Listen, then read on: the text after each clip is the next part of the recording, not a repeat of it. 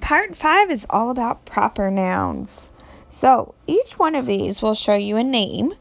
Um, you have to pick which one's right. Now remember, uppercase letters, some of them might have periods, some of them don't need periods. It depends on the name. Okay, so number 29, which is right? Mr. Tom White, Mr. Tom White, Mr. Tom White. Pick the one that looks right.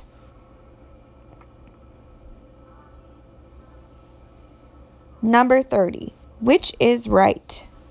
Miss Pam Foster. All of these say that name. Only one is written correctly. Number 31. Mrs. Jan Hunter. Number 32.